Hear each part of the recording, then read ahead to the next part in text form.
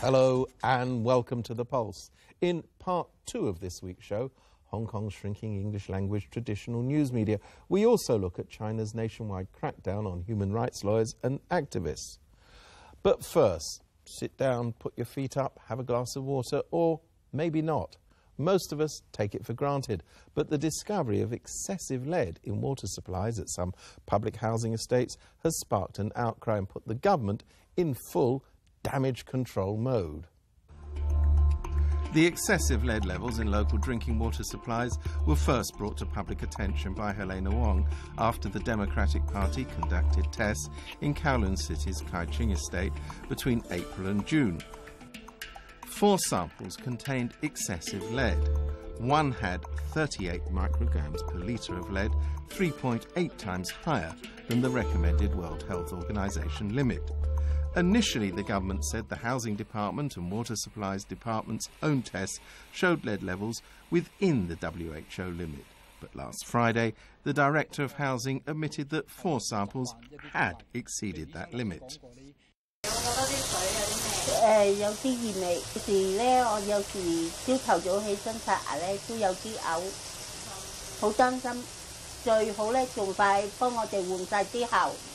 The government has held a series of joint department press conferences to answer public concerns.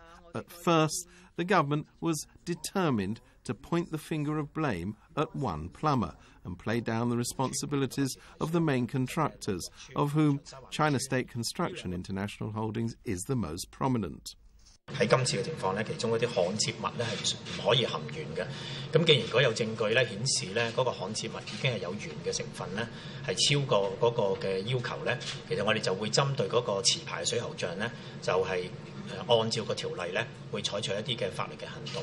誒、嗰、個水喉匠咧就誒、個名字咧就叫林德森嘅。房署先判俾中國建築，係啦，大判，嗯大判再分三沙第三間公司就何標記，嗯何標記請嘅人就係我哋工人嚟嘅，工人都係攞材料裝啫，佢都佢都唔能夠知道深入到啲嗰啲金屬啊其他嘢，佢唔會唔需要理嘅。做錯嘢當然要認啦，嗯但實際上有啲嘢唔係我包晒嘅，咁點解要喺呢個項目裏邊要負責咧？Mr. Lamb also revealed Ho Boy Gay had used almost the same materials on various other projects in recent years, including St. Paul's Hospital in Causeway Bay, more than 10 public housing estates, and some private housing blocks. 由启晴村同一个持牌水喉匠负责嘅葵联村化验嘅四十几个样本嗰度咧，有五个样本咧系验出咧含铅量咧系超出世卫诶、呃、标准嘅，份量咧分别咧就系、每公升水咧就十点四微克、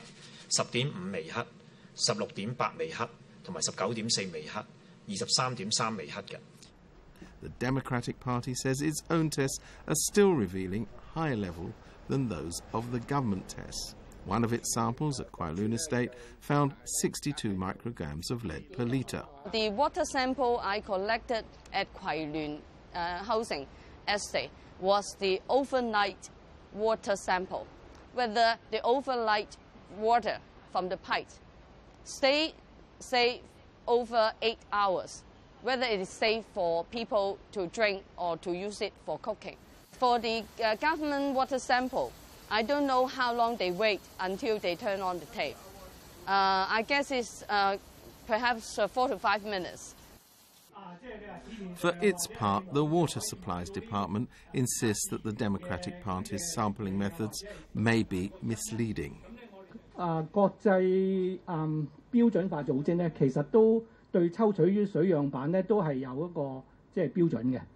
咁佢會建議咧，你抽取水樣板嘅時候咧，係需要沖洗兩至三分三三分鐘嘅，兩至三分鐘。呢個係一個標準程序嚟嘅。如果你喺個水喉攞水出嚟飲，你就算你嗰啖水唔係代表你後邊嗰個水體嗰個水嘅水質噶嘛。For the government, I don't know what is their intention.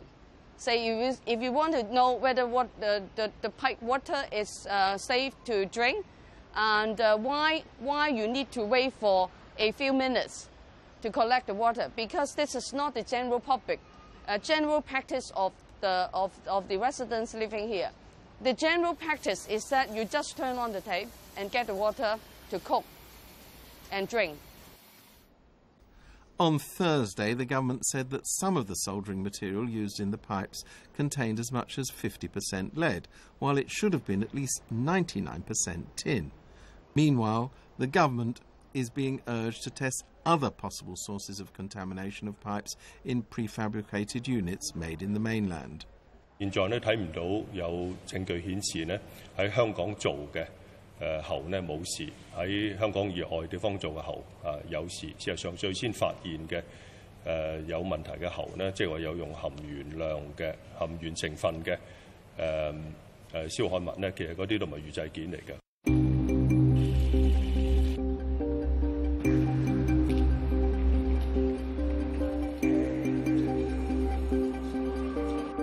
其實有啲街坊都好坦白，喺啟晴邨咧，你驗咗成百幾個水板噶嘛，你係其中七個水板有事啊嘛，咁嗰百幾個你話翻俾我聽，我就唔使咁擔心啦，係咪？咁你都唔肯講嘅喎，你唔肯講，即係嗰個 facts，你背後梗係有啲嘢，就驚講之後就引申一啲更加大嘅問題。而有咩大嘅問題咧？一定係去到成個起樓嘅時候嗰種外判制度、監管嘅制度，有冇一啲所謂貪污誒舞弊嘅問題？最大機會出錯咧，就係話，因為喺離岸嗰度你冇監管，係嘛？你喺香港咧，就我都 信你啦，系咪？当你有监管啦，水务署亦都会即系某程度可以监管到嘅。但系如果喺大陆铸造嗰啲预制件咧，水务署亦都冇可能上去监管你嘅工作噶嘛。啊，咁所以咧，房屋署喺呢度咧系责无旁贷嘅。In recent years, the government has introduced the use of prefabricated kitchens and toilets with water pipes into home construction projects. These units are manufactured in the mainland. China State Construction was the main contractor responsible for building the Kai Ching estates. It was also in charge of building 15 other public housing estates and many other private projects. These include the newly built Children's Hospital in Kai Tak and the water treatment plant in Taipo. The prefabricated water pipe fittings are produced by a Shenzhen subsidiary factory. And in the mainland, there is no licensing system to govern plumbing works. Low quality pipe fittings manufactured in the mainland are sold for as little as one yuan each in Shenzhen. China State Construction has been the main contractor for housing estates in Hong Kong since 2002. However, the Kwai Luen estate, which also has slatted problems, was built by SOCAM Development Limited, a subsidiary of the Hong Kong-based Shui On Group。我哋就一定係去追究呢個總承建商。總承建商喺整個工程裏邊呢，可能佢有好多不同嘅分判嘅，但係個責任一定係喺個總承建商嗰度嘅。This week, the government said it will be testing water samples in all new public housing estates and has established a committee to review the construction process for public housing projects.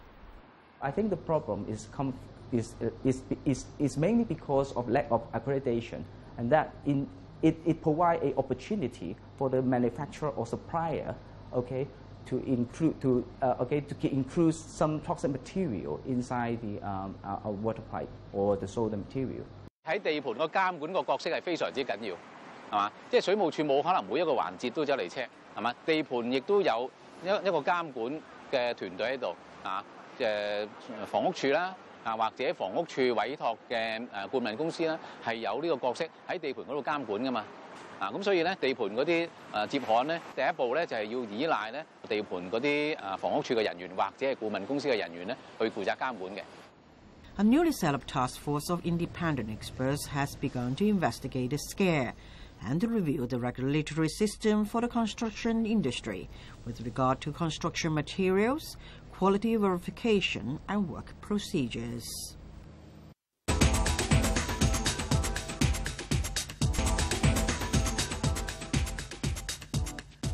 Welcome back.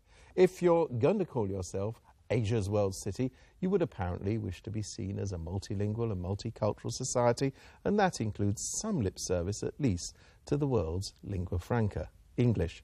But if you are a non Chinese speaker living in Hong Kong, it's been getting harder to keep up in a timely fashion with what's been going on, as the traditional English language news media has been shrinking. Last year's Umbrella Movement protests highlighted some of Hong Kong's deepest political divisions. It also brought the SAR, for the first time in almost two decades, back into the focus of international media. It was a concentration of media attention not seen in Hong Kong since the city's handover in 1997. Unfortunately, the temporary nature of many of those assignments meant that overseas based journalists were sometimes scrambling to catch up.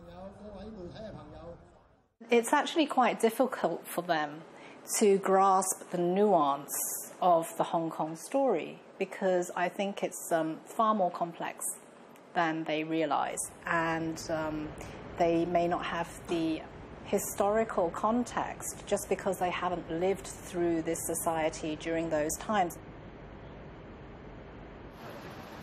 Hong Kong's own non Cantonese speakers trying to follow local events sometimes feel even less well served by the mainstream media. There's increasing cynicism in the community about the editorial stances of Hong Kong's non subscription TV channels and daily newspapers. In English media, the situation is more crucial because there's just less of it. There were a lot more broadcast media in Hong Kong prior to the handover because the handover story was coming. And you had the BBC here and NHK and overseas operations, uh, plus the local organizations were up and going. Um, you had Metro News, which was operating then. You had uh, commercial radio, which actually had an English service and, and, and did some work in those days. Um, now it doesn't really anymore. Uh, so it was a much livelier broadcast scene at that time. 英文传媒如果讲紧报纸嘅时候，得一份系付费，一份系免费嘅。如果系讲紧电视台埋同埋电台嘅时候，咁电台得一个。 电视台当然啦，就系我哋都知道有两个，但系佢哋即系提供嗰个嘅信息，其实严格而言都系非常之系不足嘅。Of course, in those days, the government didn't read Chinese, or the, the senior civil servants or the senior government officials didn't didn't know Chinese. So if they want to know about uh, how local people feel and some of the local issues, they actually welcome uh, people who are local, who speak Chinese, who are Chinese, writing in English, uh, which bridges the gap. But now it's the opposite. Locally, you had the SCMP, you had the Hong Kong Standard. At one point, there was a third player, the Eastern Express, which was a whole new English language startup newspaper. So definitely it was more vibrant. The Eastern Express got off to a good start, provided serious competition for the South China Morning Post, and for a while improved prospects for the English language journalists. Unfortunately, it folded in 1996, just two years after its launch. The Standard still exists as a free tabloid, but SCMP's dominance of English language dailies remains very much unchallenged. Long time ago, I'm, even if 20 years ago, 15 years ago, even 15 years ago, I think when you're a visitor from outside, you very quickly become part of the Hong Kong community because you're immediately plugged into the most urgent local issues, and that's no longer happening. Some non Chinese speakers turn to social media and online sources for their local news. On Facebook, citizen journalists continue to report from ongoing protests in Mongkok and elsewhere in English. Also on the web, the Hong Kong Economic Journal launched its own English news website in 2011. Even the South China Morning Post web based coverage, responding faster to the fast changing news, can seem freer than reports that editors have had more chance to pore over the Post is capable of putting out a very good product, and when it turns its, its attention to something and its resources, as it did during Occupy Central, producing that rolling hour by hour update, they did an absolutely fantastic job that any newspaper should be proud of. It was only during, I think, Occupy that when you saw the, the live blog on the SCMP that you, you truly saw local, you know, English coverage, and we're trying to do that every day. There is a, temporal and content gap uh, between Chinese and English. What does get through is often late. You wait, you know, six hours to two days. There's even a time difference between the RTHK Chinese and English feeds. Um, so we're trying to fill that void. With a group of fellow journalists, Tom Grundy recently set up an independent web-based news service, the Hong Kong Free Press. Their website, which came online at the beginning of this month, already claims over 500,000 visitors. It's about projecting Hong Kong's message to the international community, and especially in this really critical moment uh, with the political reforms, with um, the narrowing of civil society, like the space for civil society, concerns with press freedoms. Hong Kong Free Press is still hoping its business model of multiple revenue streams to be sustainable, but it is also facing the issue of accreditation. On the day we launched, we got an email from uh, from the government saying that we're not going to get access to the government information system, which is standard you know, uh, for, for any news media. It's also a struggle to get access to the, the CGO, central government offices, so that when there is a press conference, when CY or Carrie Lam or whatnot are speaking. Now, with the addition of online media, government is very much challenged as to who is a qualified reporter. Um, or are they just admitting uh, just any ordinary citizen and giving them the privilege of the press? um, this policy really needs to be to be reviewed because if you don't get access to government information, you're missing a lot. And then there's the language issue. I don't say it in English, but I hope I answered the question. You understood, right? My audience doesn't understand. Oh, okay. sorry, sorry about that. I already explained it in 10 minutes. Yeah, we would Sorry like it about in that. English, please. Sorry? We would like it in English, please. I already provide the answer. Thank you. 尤其是好特别嘅就系喺呢一个嘅诶现任特首梁振英先生佢上场之后啦， 其實都有唔少嘅傳媒有一啲嘅投訴，就話及到點解嗰個嘅傳媒嘅採訪通知，又或者事後政府誒出嘅一啲嘅誒新聞稿咧，都係以中文為主，英文相對性嗰個量係同即係九七以前，甚或至係九七之後，都係有一個好大嘅量數上面嘅減少咧。Journalism is about having, you know, having an informed electorate. So how can how can we, if if the government itself is not speaking one of its own designated um, official languages? Since the handover, many media organizations have seen that there's more money to be made if they turn their sights to the mainland. The local non Chinese speaking audience is just not as large. So, apart from the political pressure, there are simple economic imperatives. But for Hong Kong as a society, there are other considerations. If Hong Kong wants to portray itself as an international city, it has to be inviting to people who come from overseas. People have to feel like they can make a home here. People have to feel like this is a place where they can live, where they're part of some sort of community. And the news media are important to keep them not only posted with, what's happening in the rest of the world, which is important in and of itself, and particularly if you're a business person, you need to know what's going on, uh, but also to create a sense of community and a sense of belongingness. Over the past week, human rights lawyers and activists in 24 cities and provinces in China have been detained, gone missing, or been taken into custody by the police. State media have called the mass arrests an effort to smash a major criminal gang. But is this more like a flexing of government muscles in the wake of the new national security law? Last Friday, mainland Chinese officials began a nationwide crackdown on human rights lawyers and even their family members. According to the China Human Rights Lawyers Concern Group, more than 200 lawyers, including Wang Yu, were arrested. Many were detained and later released. The group says at least 50 are still missing. According to the government, the Ministry of Public Security arrested lawyers from the Beijing Fengrui law firm, who it claims are involved in many cases involving threats to social order and other criminal acts. Amnesty International believes the crackdown is related to the national security law that came into force on July 1st this year and a new criminal law amendment opposed by more than 100 human rights lawyers. The new draft criminal law amendment number 9, there's one article, Article 309, that specifically relates to courts. And it says that if you're defaming or insulting a judge, you can be liable to criminal uh, sentencing. Hundreds of lawyers last year signed a petition against this type of language because they felt that, you know, you can maybe have fines or punishment uh, in low-level regulations uh, against this type of thing, but putting it into the criminal law makes it a much more serious offense.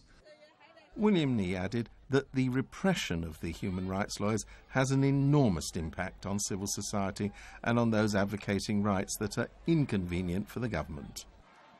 What we've seen under Xi Jinping is to, a, a large scale crackdown last year in the run up to the 25th anniversary of the Tiananmen Square crackdown. And now we're seeing another large scale crackdown on human rights lawyers. And these lawyers took on sensitive cases, some of the cases that are, involve freedom of expression, free speech, freedom of religion, uh, ethnic minorities, uh, torture, other things. So, if there are no lawyers to take on these sensitive cases, then I think for sure we could say that the human rights situation will deteriorate further. Well, that's it for this week and indeed for this season of The Pulse. The summer doldrums are upon us. We'll be back with a new season on the 9th of October. Meanwhile, if the longing and withdrawal symptoms get too much, you can watch previous episodes on our RTHK website or chat to us on our Facebook page, RTHK's The Pulse. See you in October. Goodbye. Oh, and I with throats burned dry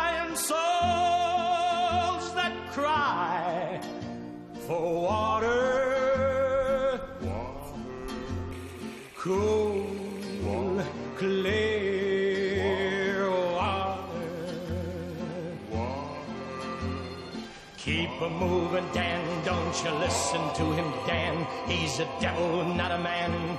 He spreads the burning.